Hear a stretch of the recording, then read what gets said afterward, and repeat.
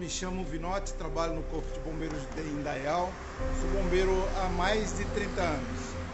É, queria falar com vocês rapidamente sobre um assunto. Tem um vídeo rolando nas redes sociais é, de um pai tentando resgatar o filho após um acidente em que o caminhão do filho pega fogo.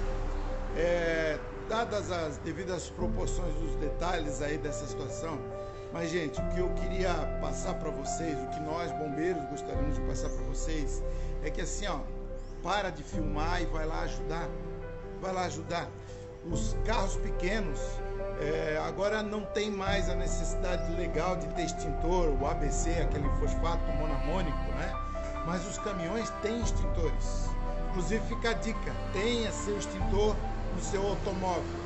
Ah, mas eu não sei usar é romper um lacre, virar para a base do fogo e apertar o lacre, somente isso. O dia que você tiver um ente querido precisando daquele extintor, você vai ver a importância desse equipamento. Mas os caminhões têm o um extintor.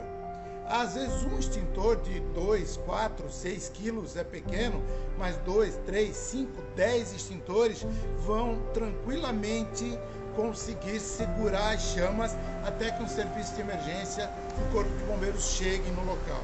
Então, gente, uma situação dessa, tente ajudar, tente ajudar. Ah, os bombeiros dizem que eu não posso botar a mão. Não é bem assim.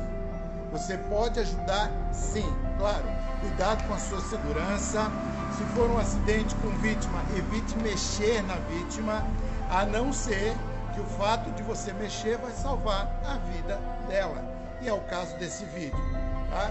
Então, assim, ó, vários extintores juntos vão sim, se não é, debelar completamente as chamas, mas vão segurar o incêndio até chegar ao serviço de socorro. Por favor, gente, ajudem as pessoas nessa situação, tá? Você que tem um carro de passeio, coloque um extintor no seu carro, mantenha o extintor em dia. Ah, mas a lei não exige. Mas o extintor é para você. É que nem o kit de primeiros socorros o, o equipamento é para você, não é para quem criou a lei. E quando você precisar, é, aí é que você vai sentir a necessidade do equipamento.